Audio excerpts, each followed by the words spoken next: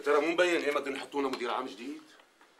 يا سيدي لحد هلأ ما في شيء الشغلة طولت وطلعت إيدها. يعني شركة مهمة مثل هي وثلاث أشهر بلا مدير عام. وين صارت هي؟ يا سيدي أنا سمعت إنه عرضوا هالمنصب على الإنس والجن وما حدا رضي يستلمه إيه طبعا. أنا مجنون رح يرضى. شركة مديونة وخسرانة وقعت تحت العجز. فيها مئة مشكلة وعلة. بقى مين فاضي يوجع راسه فيها؟ طيب ليش ما بتسعى تستلمها انت يا أستاذ شوكات؟ انت نائب المدير وأولى الناس بهالمنصب. لا عمي دخيلك. أنا مرتاح هون بمحلي. فعلا معك حق.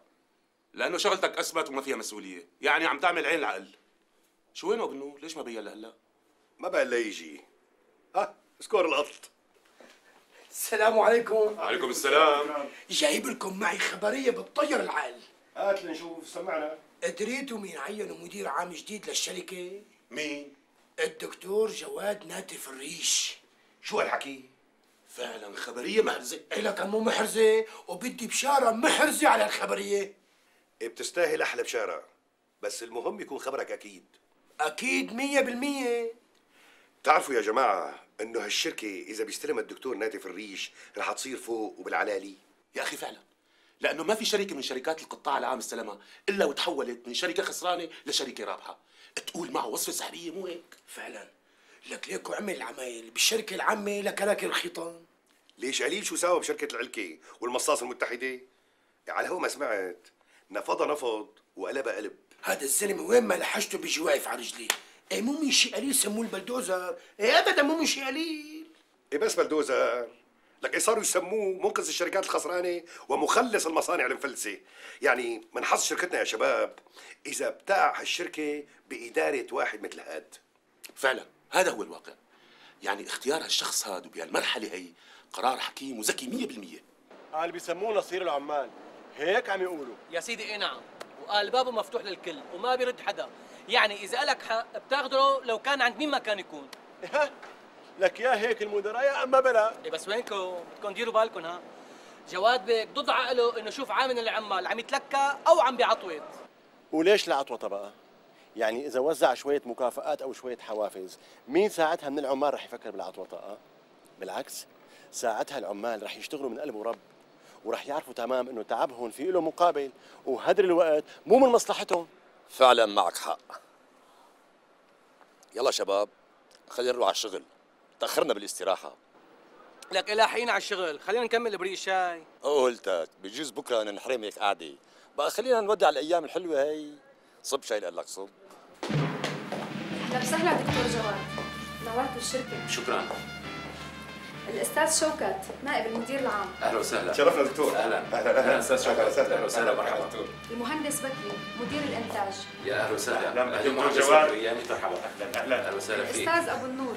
المدير التجاري. يا أهلا وسهلا. تنورنا بوجودك هذا من لطف الدكتور. أهلا وسهلا. يا ميت مرحبا أهلا وسهلا. أهلا وسهلا. يخليك ويسلمك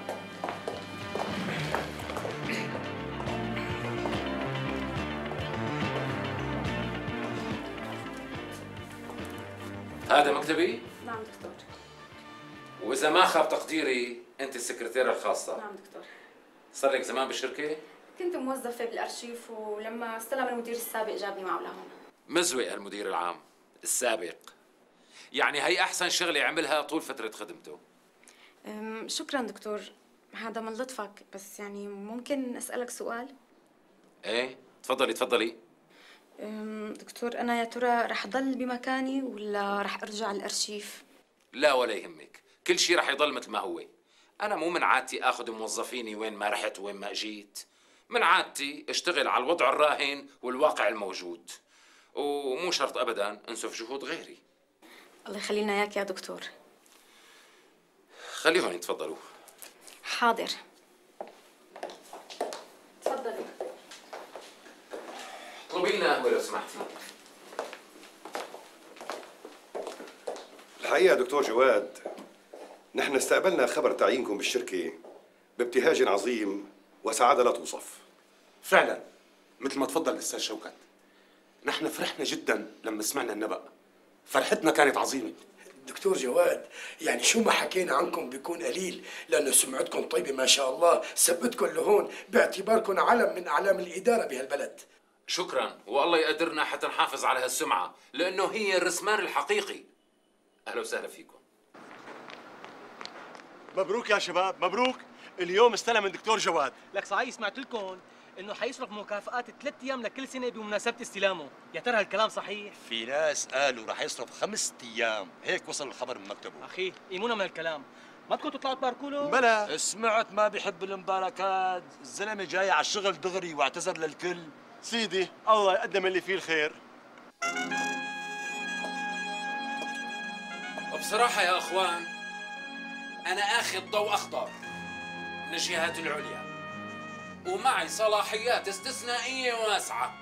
لأني بعون الله قدرت أكسب ثقة القيادة من خلال المهمات يلي استلمتها ونجحت فيها.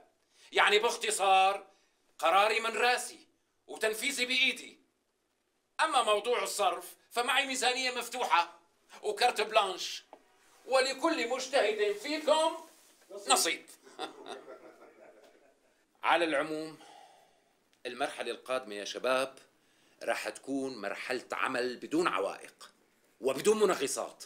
وكل المطلوب منكم هلا انكم تفكروا بطرق جديدة لتحسين الإنتاج والمنافسة في السوق. طبعا ومثل ما لكم شايفين إنتاج الشركة الحالي عبارة عن شراب عصير مربيات. وللأسف هالإنتاج هاد غير قادر على المنافسة أبدا. لأنه السوق بده اكتساح بده قوة بده غزو بده تحطيم للمنافسين. من شان هيك لازم تفكروا لي بهالاتجاه. ومعكم من هلا مهلة ثلاث أيام لتقدموا لي بعدها كل اقتراحاتكم وملاحظاتكم حول تطوير الإنتاج الكمي والنوعي. ومن هون للاجتماع القادم رح أوقف الإنتاج بالمصنع. يعني معقول نوقف الإنتاج دكتور؟ ليش لا؟ توقيف الإنتاج أحسن من الإنتاج الخاسر. إذا سمحت أستاذ شوكات خلي العمال يطفوا الآلات ويوقفوا خط الإنتاج لحتى أصدر تعليمات جديدة وخليهم كمان يستغلوا هالوقت بإجراء صيانة لكل الآلات. حاضر دكتور حاضر.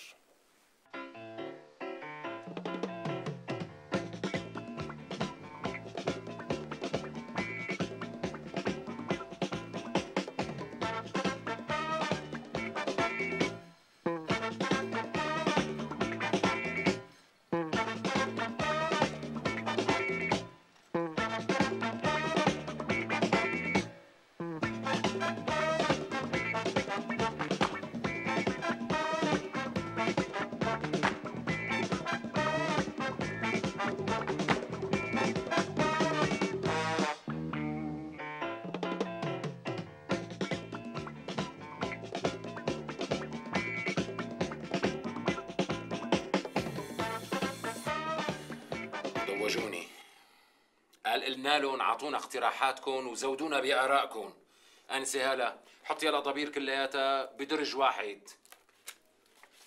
حط له رقم متسلسل دكتور.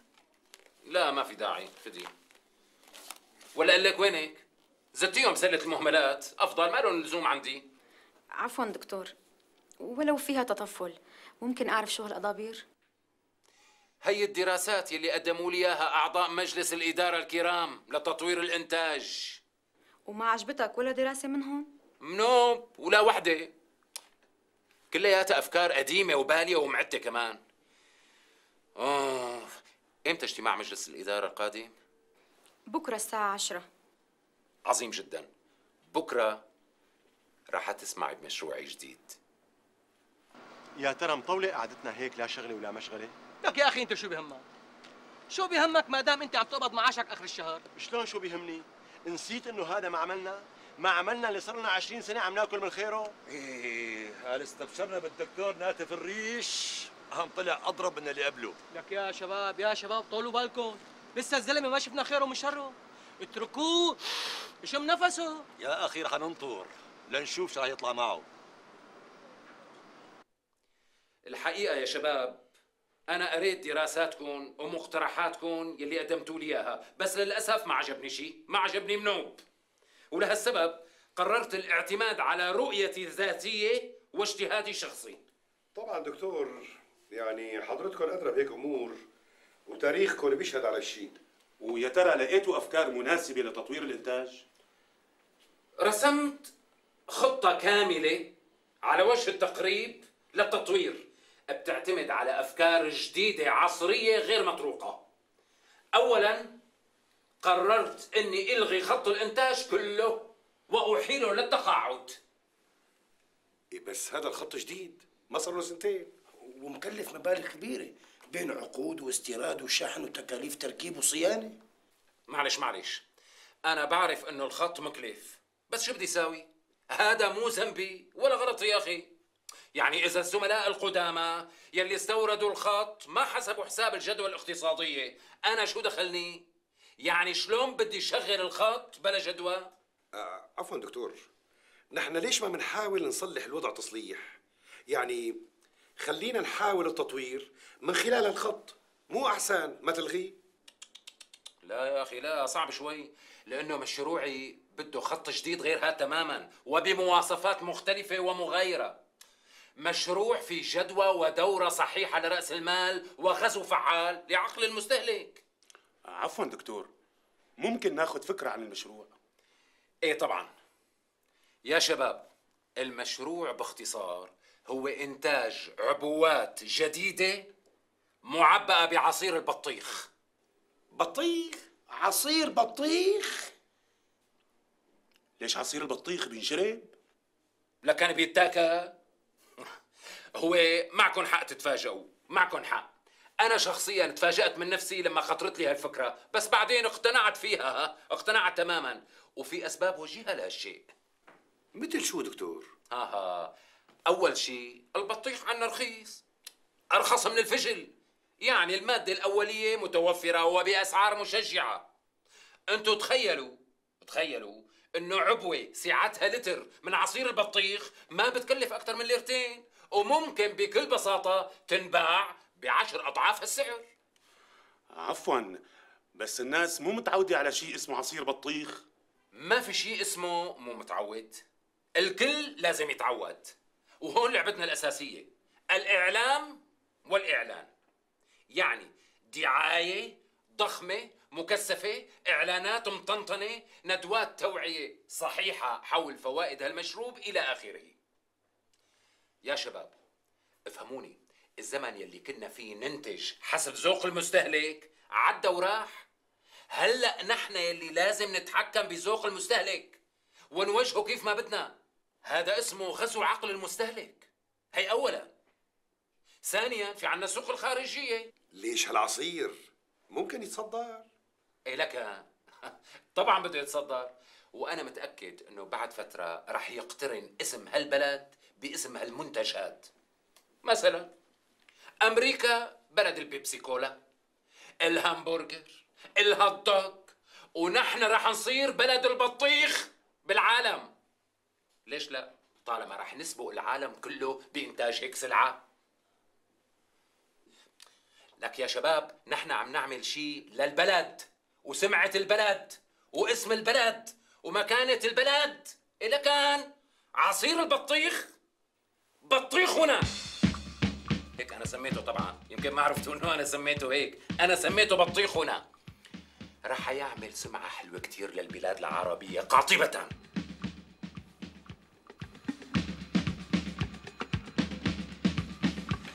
على كل حال خلي الأساتذة يوقعوا لي على محضر الاجتماع.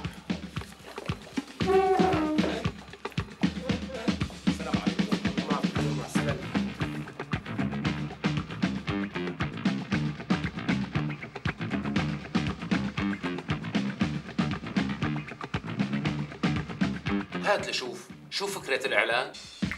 آه، بالبداية في عنا مجموعة لقطات suspense.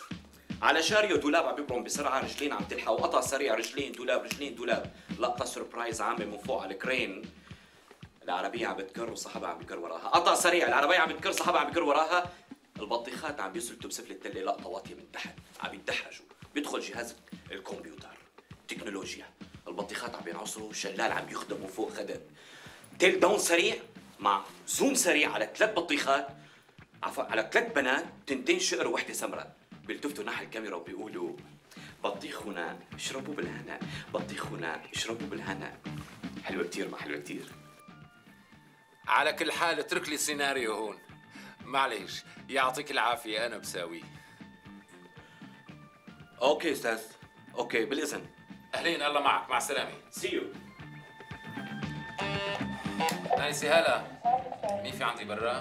في عنا الفنان التشكيلي الأستاذ أسلم إيه معلش خليه يفوت.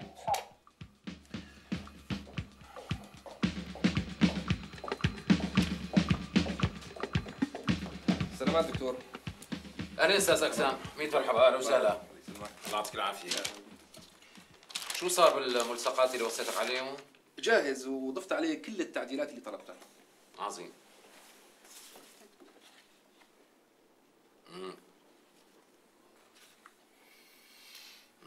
شو رأيك دكتور؟ ممتاز هذا هو الطلب عظيم جدا. آنسة هلا. ابعتي هالتصميم هذا لمؤسسات الإعلان وخليهم يعملوا منه مئة ألف نسخة متر بمتر وفهميهم إنه لازم البلد تنطرش فيه طرش. يعني بدي شوفه كيف ما فتلت وكيف ما طلعت. بمواقف الباصات على واجهات المحلات على الحيطان بالقهاوي بالسينمات. يعني لازم يصير عصير بطيخ هنا. حديث الناس كلهم من كبيرهم لصغيرهم مفهوم؟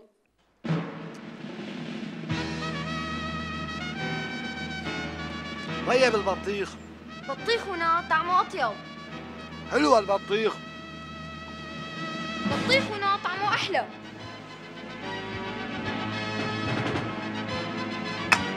وهذا أكبر دليل على الإقبال الشديد على عصير بطيخنا جربوه مرة.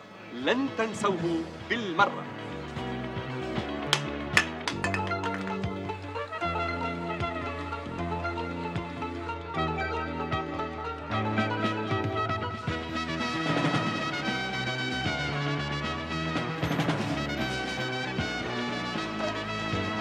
آه، لحظة مدام وقفي عندي خير شو في؟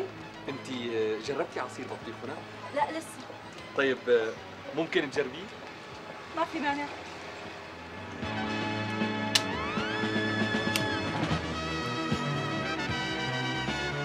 شلون لقيتي مدام؟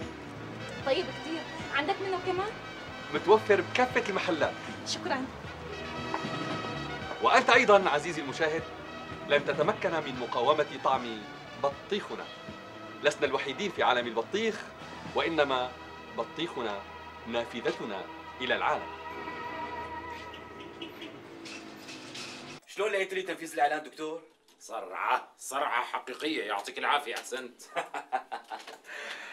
دكتور اسمح لي هنيك من قلبي على هالسيناريو الرائع. الحقيقة أنت سبقتنا سبقتنا كثير بمراحل بعيدة في عالم الدعاية والإعلان. أعزائي المشاهدين والآن نلتقي مع الدكتور عصام الاسم الكبير والمعروف من قبلكم آه، دكتور عصام ممكن تحدثنا عن فوائد عصير البطيخ؟ أهلا وسهلا فيكم. وبالتلفزيون. الحقيقة اكتشف الطب الآونة الأخيرة فوائد كتير لعصير البطيخ. منها إنه مدر للبول ومهدئ للأعصاب ومضاد للسعلة العادية والشهاقة ومنيحة كتير لمرضى البواسير. بينزعجوا بيهدئهم. كما إنه بيساعد على تخفيف الوزن. بيسمنوا بينحفهم. وتنزيل الضغط بال DHL ورفع SkyPak. بالدم طبعا هذا كله.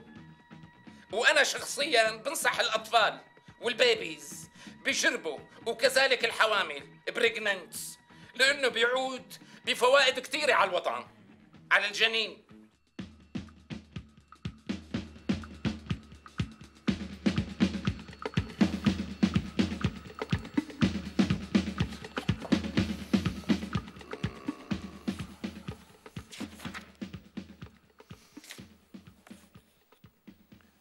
سيداتي سادتي البطيخ تاريخيا تم اكتشافه من أيام السومريين في بلاد ما بين النهرين. وعلقت حرب ضروس يومها سموها حرب البطيخ. صاروا يتقاذفون البطيخ بالمنجنيقات أما الشعوب الهلينستية فاستخدمت البطيخ بطقوس الحرب والغزو واحتفالات الخصب. ومؤخرا تم اكتشاف آه، تمثال صغير مثل بطيخة صغيرة كانت تستخدم كتعويذة خاصة للحرب مما يدل على أهمية البطيخ في حياة تلك الشعوب. أما عصير البطيخ أستاذ بطيخ عفوا أستاذ البطيخ معبي المعمل وحواليه ومنا عارفين شو بدنا نعمل فيه؟ عبوا المستودعات الاحتياطية. المستودعات الاحتياطية إنتاجنا مكدس فيها تكديس. على فكرة دكتور يعني بحب أقول لك إنه إنتاجنا انخفض كتير يعني انخفض للربع ويمكن أكثر والبطيخ بلش ينتزع وما عارفين شو بدنا نعمل فيه. حطوا البطيخ بالبرادات. تبريده بكلف أكثر من حقه دكتور. أصبح اعملوا مستودعات جديدة. شلون وكيف دكتور؟ شو شلون وكيف؟ انصبوا شوادر وعملوها مستودعات بطيخ. شو بياعين البطيخ؟ أشطر منا أنت الثاني إيه. حاضر حاضر أستاذ. أما أمرك عجيب.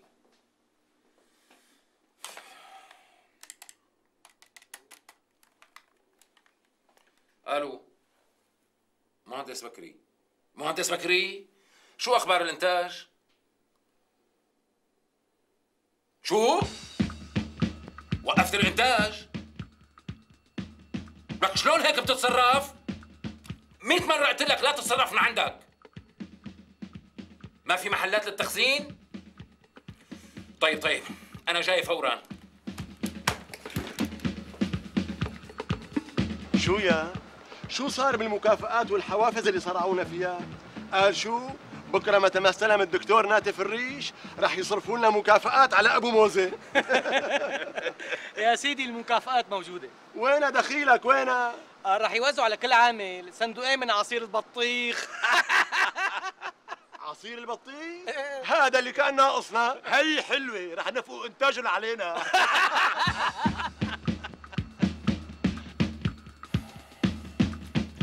وقديش بلغت الخسائر؟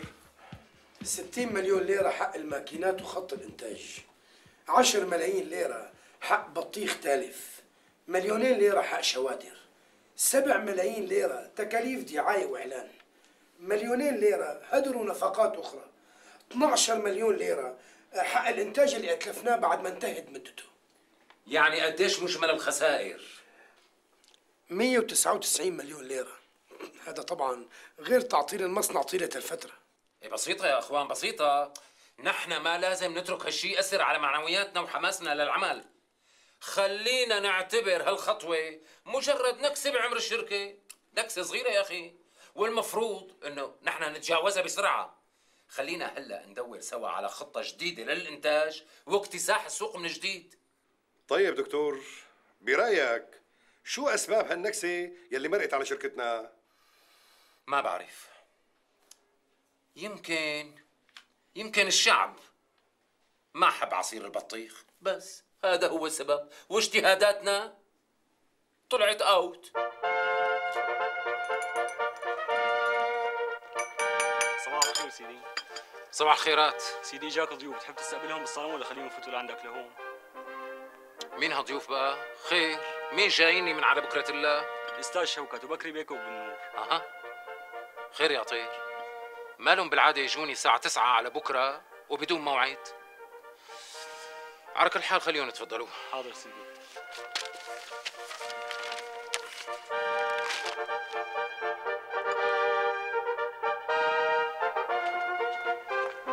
صباح الخير صباح الخير. صباح الخير سيدي. صباح الخيرات. أهلا وسهلا. شرفوا افطروا معي. الصحة وهنا سبقناك. يا أهلا وسهلا. خير. غليتوا لي قلبي. شو سبب هالزيارة المفاجئة يا ترى؟ الحقيقة الأخبار غير سارة على الإطلاق جواد بك خير. شو في؟ بالحقيقة يا سيدي إجانا كتاب رسمي من جهات عليا. عم يسألوا عن سبب خسارة الشركة 199 مليون ليرة. مو بس هيك سيدنا. شو في كمان؟ وجانا كتاب تاني لهجته قاسي كتير. عم بيطلب منا مسؤول كافة أعضاء مجلس إدارة أمام محكمة القاضي الساعة 20 بعد بكرة. أوف! القاضي الساعة 20 فردفشة والكتاب عم ينقط منه السم تنقيط سيدي.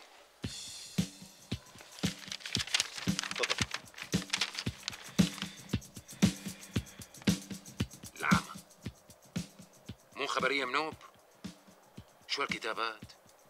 العامة هالكتاب بجيب آخرتنا حسب اللهجة المكتوب فيها. ويمكن عم يحترمونا سيدي لأنه ما أخذونا موجودا وتحت الحراسة وبمعية رجال الأمن. بقى يا جواد بيك قلنا عندكم رجاء رجاء أخوي. شو هو؟ نحن مثل ما بتعرفوا كنا نمضي لكم على بياض. مزبوط سيدنا وشو كنتوا تقولوا؟ كنا نوافقكم على طول. مو لأنه اغبياء أو أو أو غشمه لا سمح الله لا. بس لأنه ثقتنا فيك كبيرة وإيماننا بحكمتك راسخ. كمان من منطلق إنه خبرتكم جواد بيك أكبر من خبرتنا. ما في مقارنة بتاتا. المهم هلا شو هو هالرجاء؟ يعني مترجاك سيدنا تبري ساحتنا عند القاضي 29 حتى لا نعتبر شركاء بهالتخبيص. قصدي قصدي بالخسارة الشنيعة اللي كان سببها المباشر هو عصير بطيخنا فكرتكم الخاصة. وبدكم مني احمل المسؤولية لحالي. إيه أنت قدها قد وقدود سيدي. ما بينخاف عليكم والله ما بينخاف عليكم. سيدي والله والله غير تطلعوا من هالقصة مثل الشعر من العجين. سيدي أنتوا لا تكذبوا. أحكوا الواقع. قولوا للقاضي 29 إنه هالجماعة مغرر فيهم وما لهم رأي. طراطير تشاتيش شرابة خرج ما بتفرق. المهم نطلع خارج الصورة بيكون أفضل. إيه دخيلكم سيدنا؟ عنا أولاد بلا ما نروح فيها مؤبد يستر على عرضك. إيه وأنا؟ يا سيدي أنتوا صيتكم واسمكم لامع وماضيكم بيشهد لكم اما مين نحن بالحارة؟ منخل بلا طارة. صحيح. وياما حضرتكم ناشلين مؤسسات على حفة الإفلاس وياما مخططين وياما مارق على راسكم إيه بس انتو جناحاتي. سيدي بتطيروا بلا جناحات؟ والله بتطيروا. يعني إذا بدكم بتطيروا. سيدي تليفون صغير لصاحبكم بالقيادة. بيمشي الحال. حرام نفوت لعند القاضي 29 بدون ما ندعم مسألة. والله بنروح فيها طحبشة وما حدا بيسأل علينا. بمين عم تتصلوا سيدي؟ بسامي بيك مسؤول قيادي.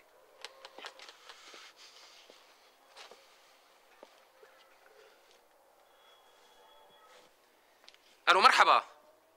القيادي؟ أه، مين عم يحكي بالله؟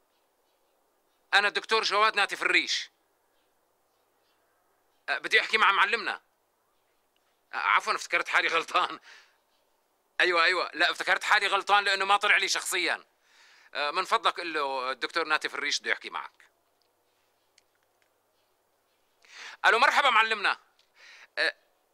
نعم. سكرتيرو. شو قال لك؟ أيوه. نعم. ماشي الحال. ماشي الحال. خير سيدي. اعتذر عن مكالمتي. مشغول يعني؟ لا. قال له لسكرتيرو يقل لي حتى انسى هالرقم من ذاكرتي كليا.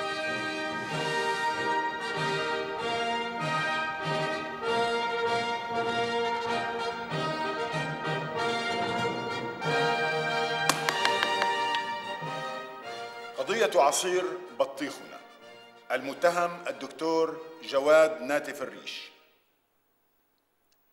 التهمة الموجهة هي تبديد أموال الدولة وخيانة الثقة والإساءة في استعمال الصلاحية وإطلاق اليد والاستهتار بأموال المساهمين وعددهم 127 شخصا وتخريب الاقتصاد الوطني عن طريق زج الشركة بمشروع فاشل وجلب الدمار المالي والمساهمة في تدمير الإنتاج الزراعي.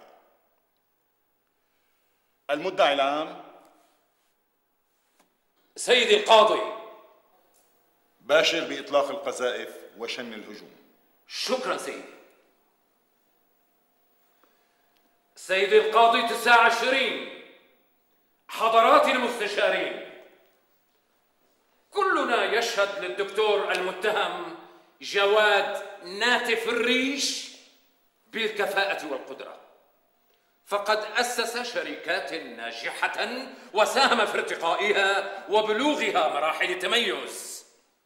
وتأسيسا على هذا النجاح فقد سلمته قيادتنا الرشيدة منصب المدير العام ورئيس مجلس الإدارة لواحدة من أهم شركاتنا الغذائية والتي هي الواجهة الاقتصادية الحقيقية في هذا البلد.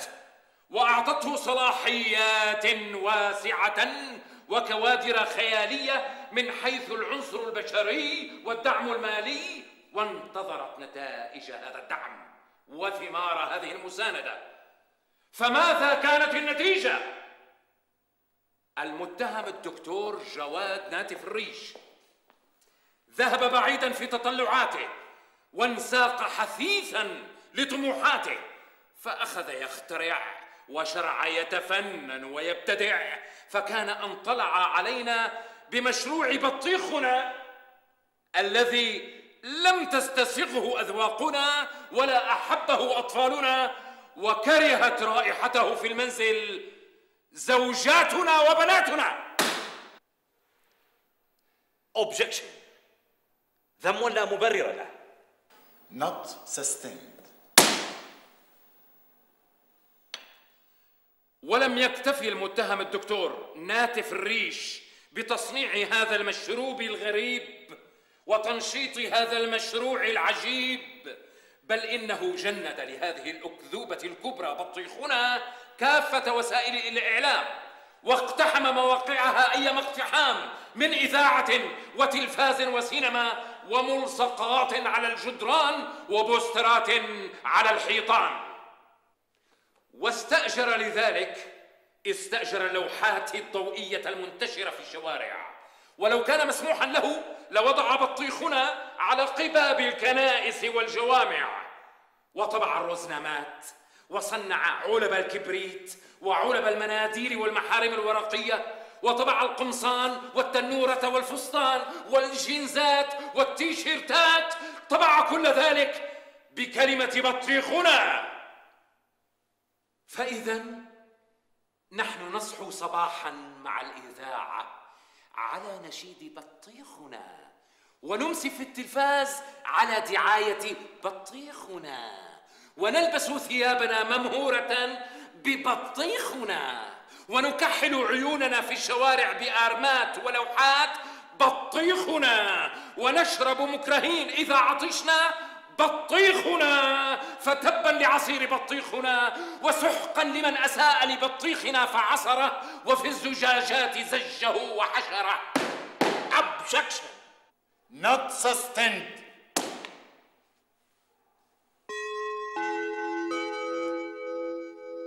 يا رأس العدالة في القرن العشرين القاضي تسعة عشرين. أنا كمدعي عام اشتهر بالتزمت والصلابة والتعنت والقسوة. كرئيس نيابة قد تستغربون.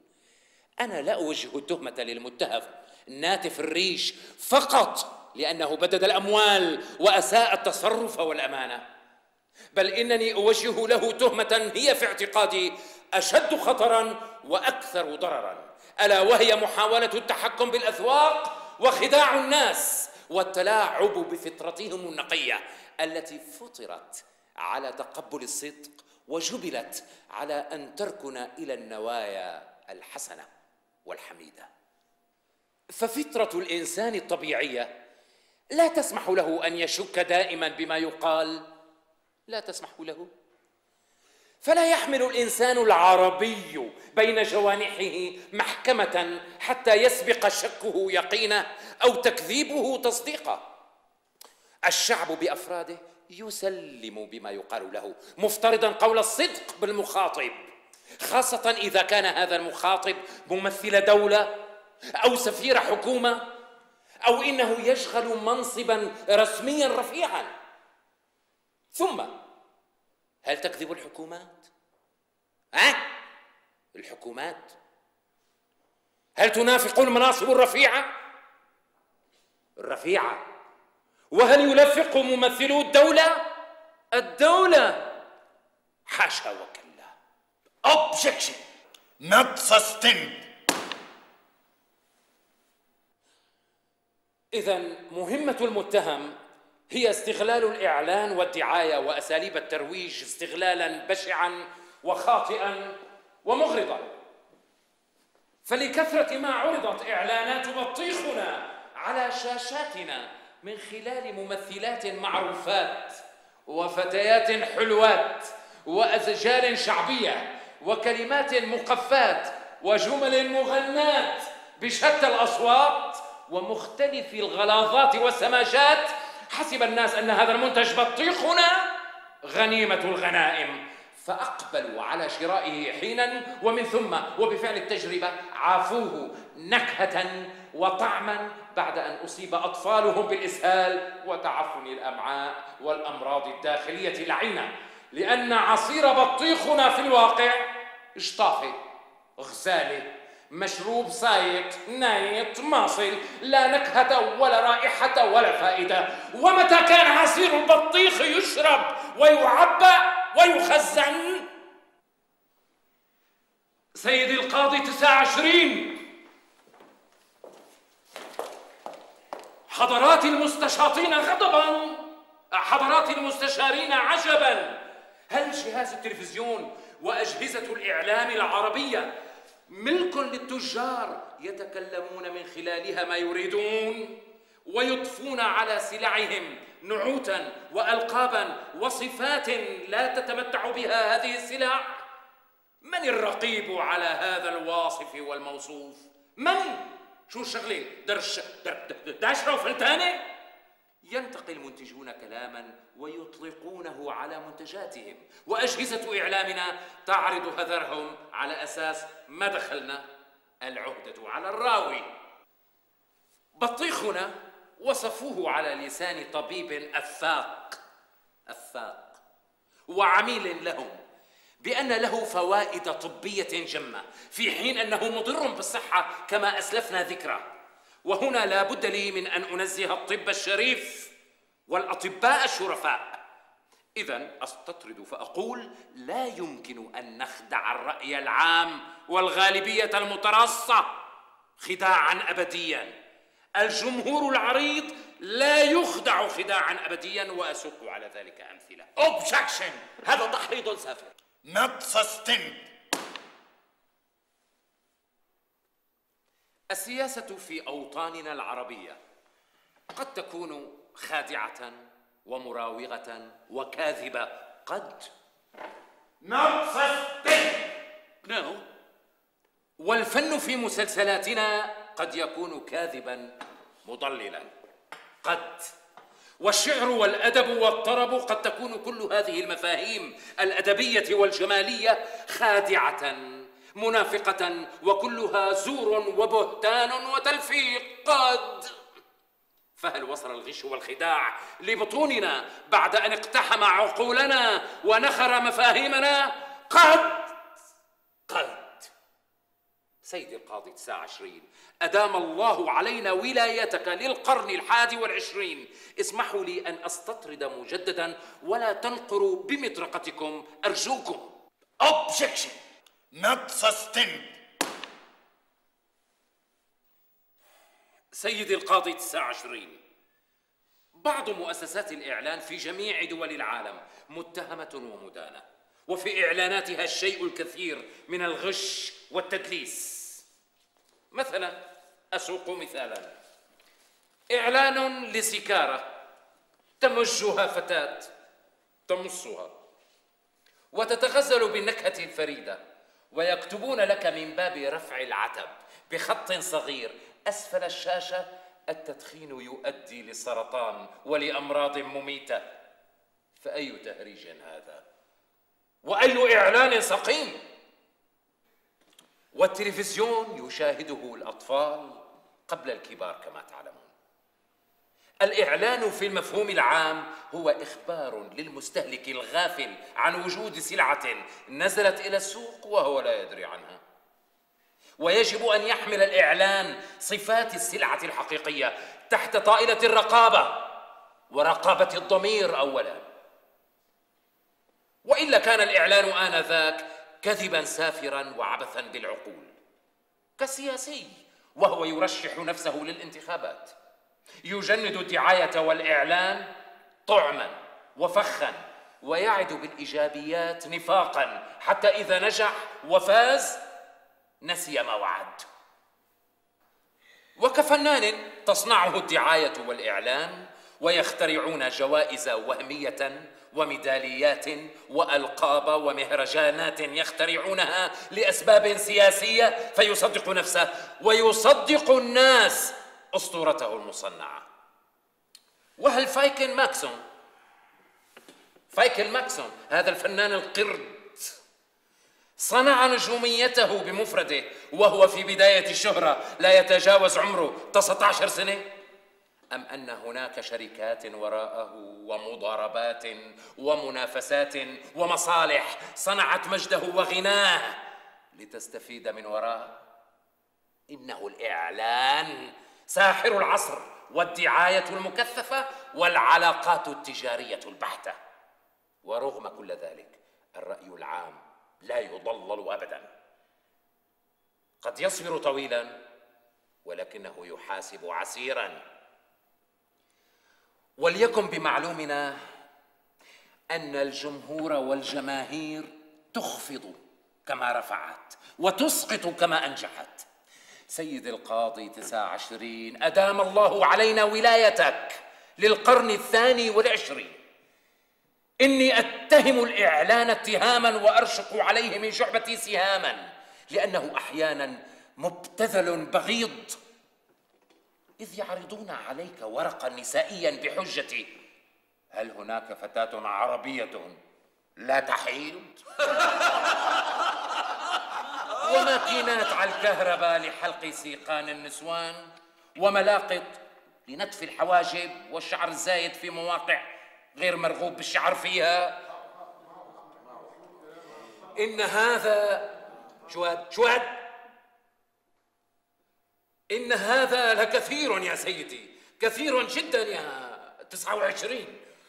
لقد ذهب الخجل وعم الدجل وأصبح المسيء محترما ولربما أصبح البريء مجرما والدعاية تسوق أفراد الشعب أمامها وكأنها تسوق ماعزا أو غنما.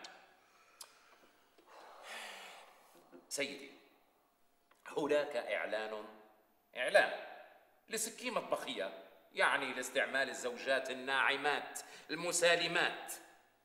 إنها حادة النصر تنشر علب الصفيح وتقطع الحديد المبروم. وتبتر أرجل الطاولات الخشبية. سواطير تهوي كالسيوف الباترة التي لم يحلم باقتنائها عنترة بن شداد ولا شيبوب ولا جساس في حرب بسوس. فما عساها تفعل زوجاتنا بنا عندما نتشاجر؟ سيدي وأمامها وفي مطبخها وبين أيديها المثقف الهندي والبتار الصارم والصمصام الذي لا ينبو ولا يتثلم وكيف ننجو بهذه العدة الحربية بعيدا عن متناول أطفالنا؟ اوبجكشن خروج عن الموضوع أستاذ. Not sustained.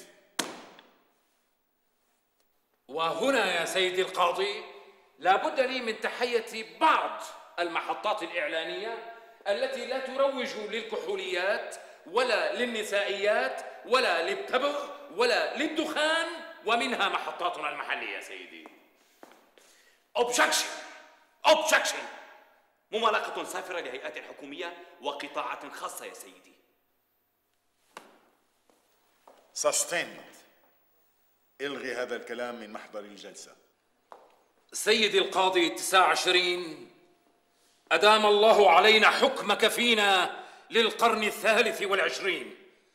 أطالب محكمتكم بإيقاع العقوبة الكبرى بالمدعو جواد ناتف الريش بتهمة خداع الرأي العام والإساءة الصحية لأفراد الشعب عن طريق التدليس في أجهزة الإعلام وتبديد أموال الدولة والمواطنين. أعطي الفرصة لهيئة المحلفين للتداول لله ما اجى ذكرنا. العمى صبوا على رأس الدكتور كل بلاوي الدنيا. يعني لو اتزحلقت بقرة بالنهار لاعتبروه هو المسؤول. إلك هي محكمة القاضي 29 لك هذا محامي الدفاع اللي حطيناه. شو قصته؟ إيه مالي فهمان منه إلا كلمة اوبجكشن لك أنا محامي هاد عم قل لك هي محكمة القاضي 29 شو القرار عندك يا رئيس هيئة المحلفين؟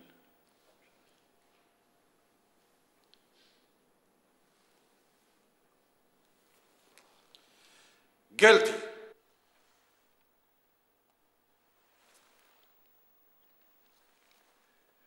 بناء على قرار هيئة المحلفين نعتبر المتهم جواد ناتف الريش مذنبا بكل ما جاء في مطالعة المدعي العام ونقرر ما يلي يتجرع المتهم قسرا وعنوة عصير بطيخنا ليل نهار وباستمرار. ويحقن به بكل السبل حتى ينفجر انفجارا ويموت انفجارا. رفعت الجلسة.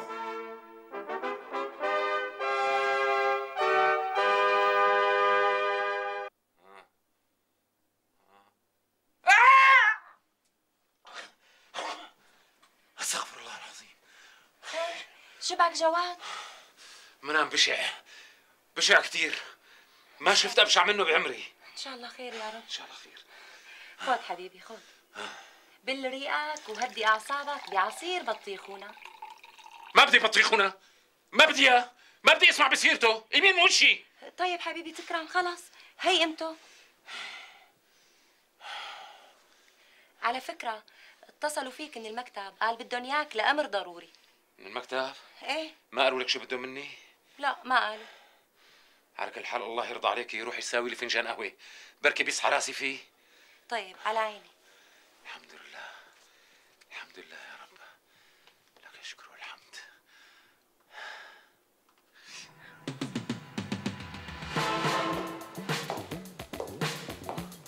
صباح الخير. يا صباح الخيرات والليرات. صباح الخيرات. يا صباح النور. أهلين دكتور.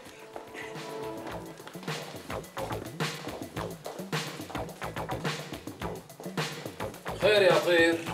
قال اتصلتوا فيي شو في إيه والله يعني مالكم دريانين سيتا؟ بشو بدي يدرى بقى؟ هذا يا سيدي إجت ترقيتكم وسلموكم رئيس مجلس إدارة الشركات الزراعية المتضامنة بالخليج العربي.